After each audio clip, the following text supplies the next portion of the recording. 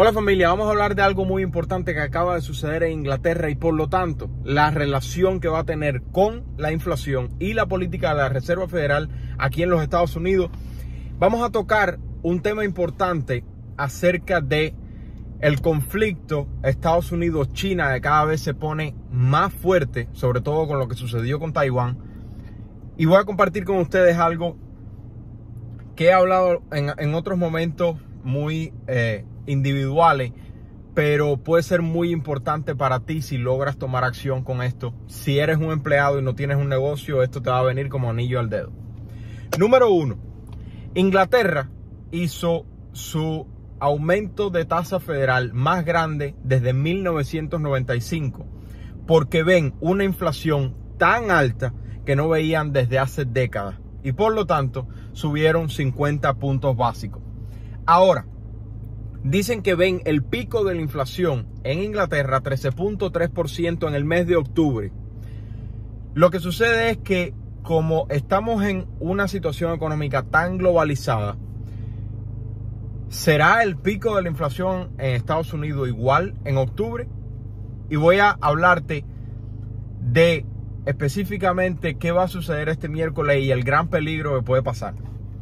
Este miércoles, ya dijimos que en el día de ayer hubo un reporte de empleo completamente eh, fuera de lo que esperaban los economistas, incluso completamente de lo que esperaba el público. Los economistas esperaban 258 mil empleos y vinieron a 528 mil empleos creados, más del doble de lo que los economistas esperaban.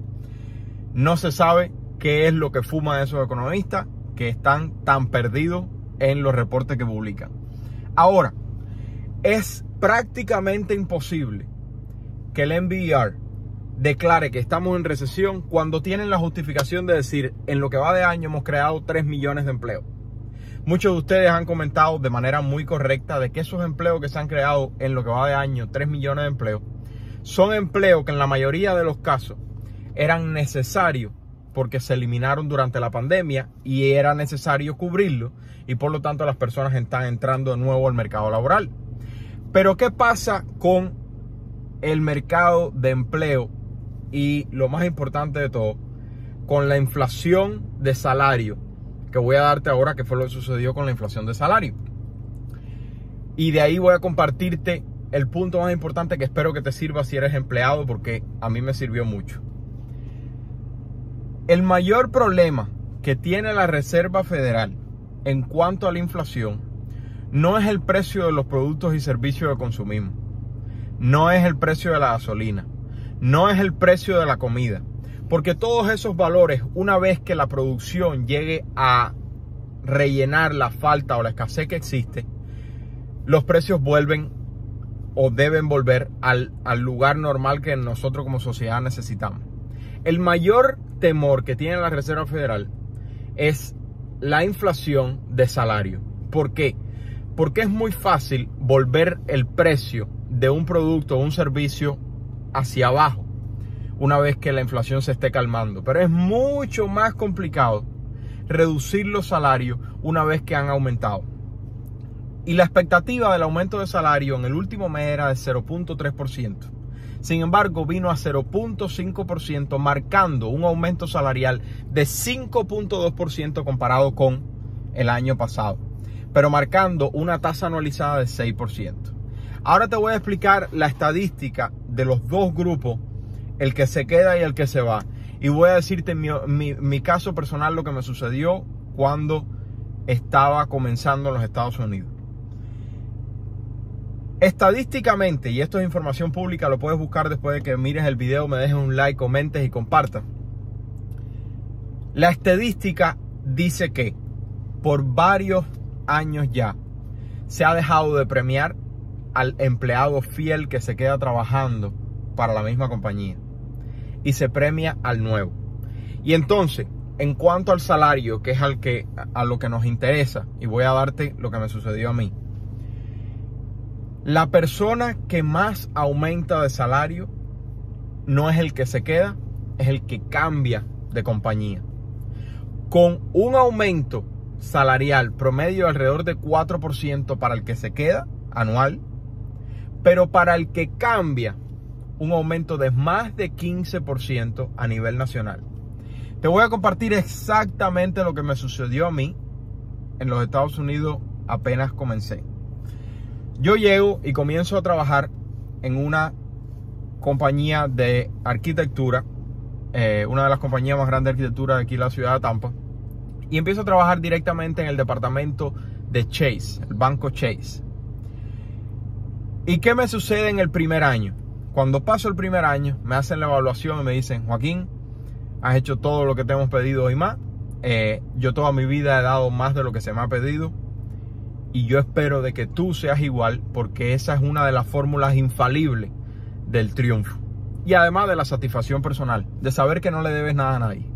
Bueno, me hacen mi revisión, por supuesto, regalando muchas horas de más. Estaba regalando, eh, estaba haciendo 60, 70 horas semanales cuando tenía que trabajar 40. Mis primeros dos años en esa compañía fueron de trabajo muy, muy, muy duro y estresante pero lo hice con todo el placer del mundo, sobre todo porque cuando vinieron tiempos fuertes, yo fui de las personas que quedaron trabajando en la compañía y no fueron despedidas, porque sabían que yo estaba dispuesto a agregar valor a la compañía. Y yo sé que muchos de ustedes se encuentran en esa situación. Pero volviendo al tema del aumento de salario. Cuando pasé el primer año, que me hacen la revisión, me dicen, Joaquín, eh, queremos que de aquí a cinco años tú estés con todo el conocimiento necesario, que tengas todas las licencias necesarias para ser el jefe de departamento. Y basado en el desenvolvimiento que tú has tenido en el último año, etcétera, etcétera, etcétera, aprendiendo inglés a una velocidad muy grande, que si no entendía, no aprendí inglés, estaba frito. Eh, todo el mundo en mi departamento, excepto dos amistades que hice hispanas, de 200 trabajadores eran americanos, tenía que coger el inglés y yo sí. Me dieron un aumento de 6% de 6%.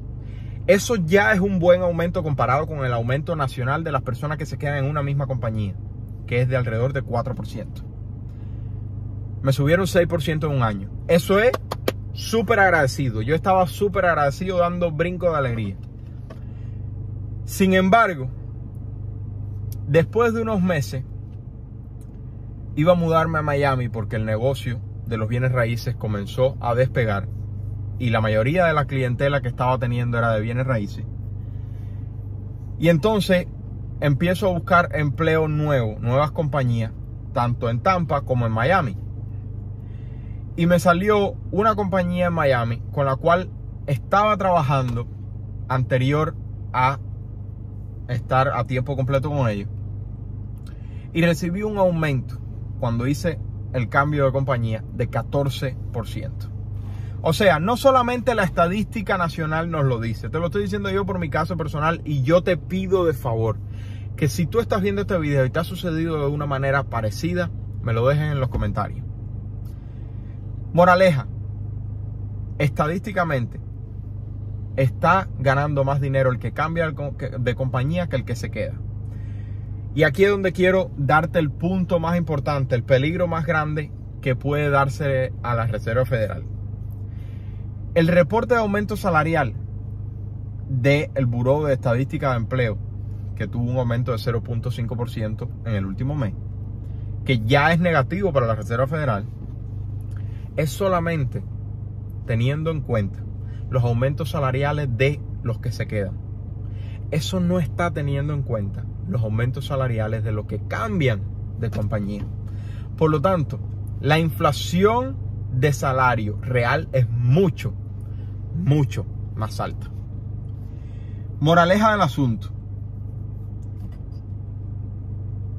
Este reporte de inflación que va a salir el miércoles puede despegar una tasa, un aumento de tasa federal de emergencia para poner más agresiva la situación, dado que no parece ser en lo absoluto que lo que está haciendo, lo que está haciendo la Reserva Federal está calmando la inflación. Yo personalmente no pienso que va a tocar el pico en el mes pasado de 9.1%. Lamentablemente yo creo que todavía vamos a tener un reporte de inflación más alto de 9.1 este miércoles y que por lo tanto la Reserva Federal puede sacarse del sombrero un aumento de tasa de emergencia. Porque la próxima reunión en este agosto no tiene reunión de Reserva Federal, sino que es en septiembre. Y de aquí a septiembre falta otro reporte de empleo y faltan dos reportes de CPI o reportes de índice de inflación el precio del consumidor. Moraleja del asunto, vamos a ver cómo se desenvuelve el tema, porque esto tiene mucha influencia, no solamente en la economía como la recesión, los empleos, etcétera, etcétera, sino en cómo se desenvuelva la bolsa de valores que ha estado cayendo muchísimo en los últimos meses, pero también en las tasas hipotecarias que van entonces a alterar la demanda por propiedades y por lo tanto el precio de las propiedades, que mi caja de compra en multifamiliares no está aumentando mucho, pero en propiedad singular con estudio de renta cada vez aumenta más y los precios se reducen más. Vamos a ver, eh, voy a sacarte una, una noticia importante el día de mañana por la tarde acerca de una unión de dos corporaciones muy grandes que conocemos y voy a tratar de investigar un poco más para darte una noticia bien completa de lo que puede significar. Recuerda, el mercado en general se va a comportar de la misma manera. Eres tú el único que tiene el poder de cambiar tu situación. Si no sabes por dónde empezar, cinco pasos, bien sencillo. Ahorrar mil dólares lo más rápido posible para no caer en más deuda si tienes una emergencia pequeña. Pagar todas tus deudas con el método de bola de nieve. Ahorrar de 3 a 6 meses de fondo de emergencia. Abrirte una cuenta de retiro Roth IRA y por último, no te compres la casa de tus sueños compra una propiedad que genere ingresos. Un multifamiliar o una propiedad singular que tenga unidades de renta. Si te gustó, te pido de favor que me regales un like, me ayuda a cantidad. Suscríbete al canal, nos vemos la próxima. Y déjame saber, voy a decir un número. Yo creo que vamos a tener un CPI este miércoles de 9.5%. Dime tú qué CPI quieres que vamos a tener vamos a estar por encima o por debajo del último de 9.1. Y si te quieres arriesgar un poco más a ver cómo estás leyendo la economía, dime qué CPI tienes estimado que venga este miércoles. ¿Y crees que vamos a tocar el pico de la inflación en octubre, como dice el Banco de Inglaterra, que acaba de confirmar que esperan un 13.3% de inflación como pico y por lo tanto hicieron un aumento de la tasa federal récord de 27 años? Déjame saber tu opinión. Si te gustó, regálame un like, suscríbete al canal y nos vemos en la próxima. Se le quiere familia. Chao, chao.